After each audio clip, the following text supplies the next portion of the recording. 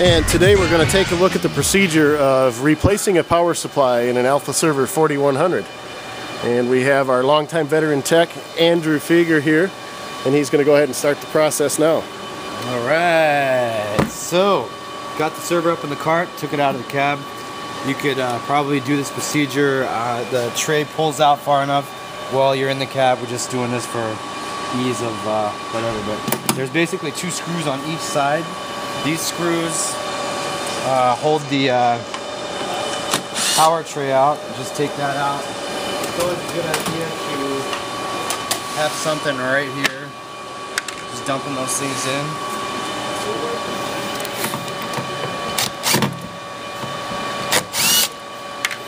And then typically we have two screws. These are already out, but there's two screws right here that have to come out. Don't touch these guys yet. Um, you know, that basically removes that front tray and that slides right out. There's two tracks, so it just pulls straight out. You can kind of see the channel right here. While you're putting it back in, be mindful when you're, you know, lining these channels up to, to make sure that you, you feed it in and then push it forward. And here's your power supplies. You got three of them. Starting from left, power supply zero, power supply one, and power supply two. Uh, I know we have a bad one right here, so it came up and said that power supply one had failed. So we're gonna be, uh, you know, disassembling. Now here's the here's the tricky part. If you can kind of get a good shot in here, you got a bunch of cables going in here, and uh, that's the very reason. There's not a lot of room here up until you move that tray back. And the best thing to do is just start, you know, disconnecting, disconnecting these cables out. Just pull these out just like this. You know, if you're to replace all of them. You can leave them in the harness. It's not to go anywhere. These kind of get a little bit tricky. Just kind of pinch and, you know, typical Molex connectors. Um, instead of jamming your hand down and getting your hand all jacked up, this is where we pull this this uh, tray forward. And if you look, you'll see how it kind of fastens inside the the outside of the chassis. And you can kind of tilt it forward rock it a little bit. And it'll only come forward so much because of the harness but it gets it gives you enough space so you can actually get a good grip on some of these cables while you're disconnecting them. And you just kind of there's so much pressure on these all you have to really do is just you know push forward this little clip on each of the the power blocks. And then just get them loose and you'll feel it click. And you can almost hear it snap and they uh, they can you can kind of pull it out from there. There's one last one down here if you can kind of see catch this angle down down on the very bottom. Don't forget them. Don't forget all these down here. And then you just kind of do everything. This is a it gets pretty nasty, so big deal. Just keep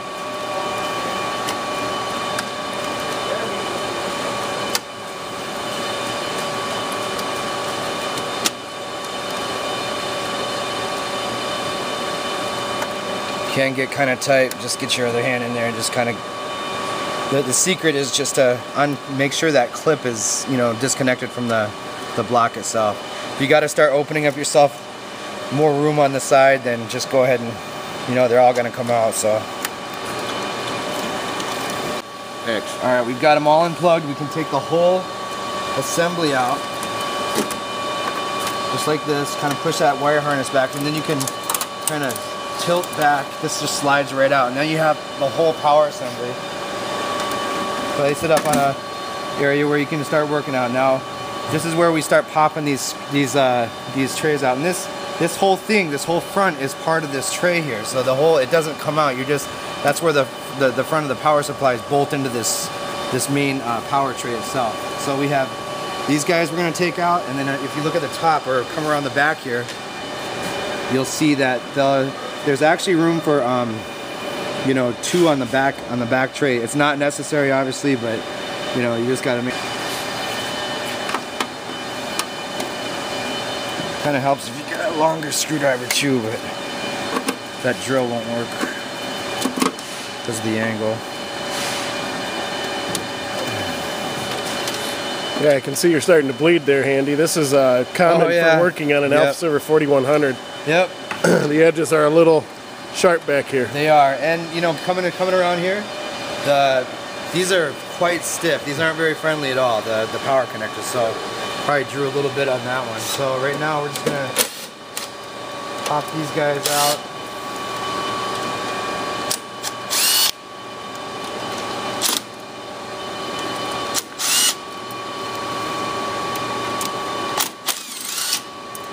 There's one free, two free, and they're all free. I'm gonna take my screws, dump them in here, make sure that they don't go. Okay, I already know that this one's bad, so this one's out of the picture. So, notice how I just slid them out, they just pop right out, and then you just pop the next batch in. We've got um, a couple we're gonna test here. We know this guy's good. So, got a couple that we need to test. So we'll just kind of place those in the tray, kind of slide them forward, get them in, get them lined up here. Obviously, power plug goes in the front.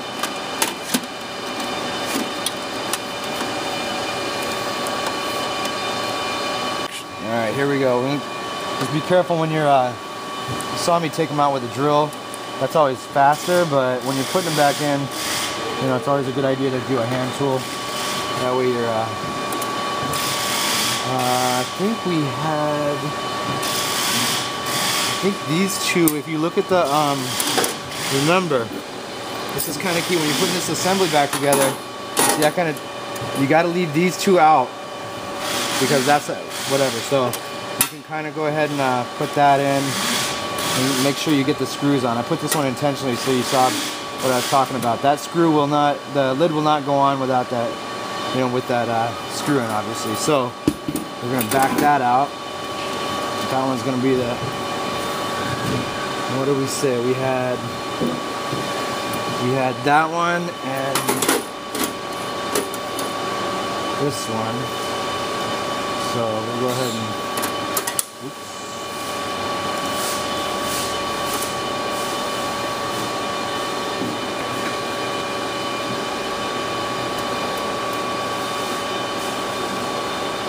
funny because he's gonna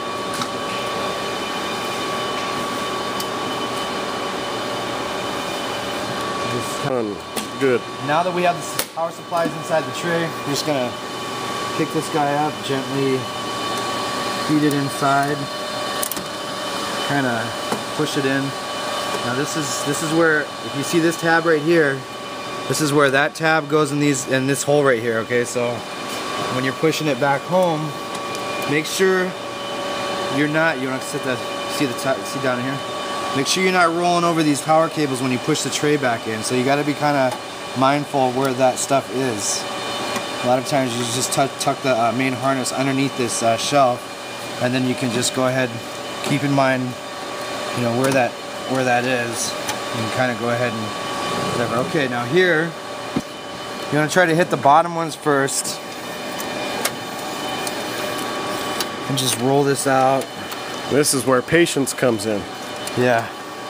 This is where being tall comes in. so you just kind of. Yeah, my arms are going to be all over the place back here. Let's see. A lot of times, if you want to. Uh, best practice is to close each power supply out because you can get in a hurry and forget this cable. This is a sync, you know, the sync cable with the power, so you just gotta. Okay, now we've got them all plugged in and pay special attention to this section right here. You want to make sure that when you push that tray back, you're not rolling back over those cables. So as we push this, we're keeping and we're, we're paying attention to the wire harness we're also paying attention to the uh, seating of this um, this clip inside the outside of the chassis. So we just kind of roll it. You see how this kind of goes inside here, and then after that's all done and we verified that the cables are clear, then we'll go ahead and push it home, just like that. And at this point, just go ahead and put your screws back inside the uh, side tray. Uh -oh. That one a little bit further. Just got to line them up. Oh yeah. Just this forward just a little bit.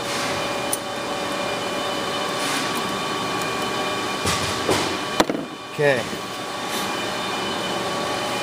And for for video sake, obviously you're gonna have these other screws and stuff like that in there. You're gonna have them on yours. And here we are with a, a lid switch. Uh, interesting uh, concept that uh, Alpha's done with these is is basically these uh, these uh, switch assemblies. So it's a good idea to kind of inspect them and make sure that you know everything's intact and everything's there. We really didn't incorporate any kind of any kind of um, magnet like the some of the next generation, but here we are. We're, we're placing that inside the track, and we're just gonna push it home just like that, and that's that's about it. So, kind of up Benny. One. Okay, you can't hear it, but um, one thing Benny's, uh, you know, kind of discovered and, and shared with the with myself over the years is, is the fact that these power supplies is a real telltale sign if they're good or bad when you when you apply the power.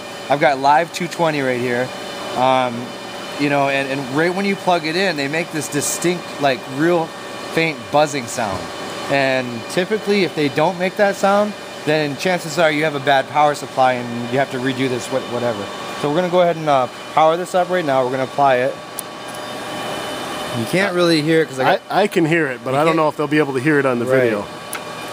Okay, I can hear that one. That one already fired up. And then we got this one. So Now the system should start to power on. yeah, I'm gonna I'm gonna exercise the uh, power switch, and then I'm gonna turn it back on. And then we're gonna head on. I don't know how well they'll be able to see this, but this is the system with its power on self-test fired up right now.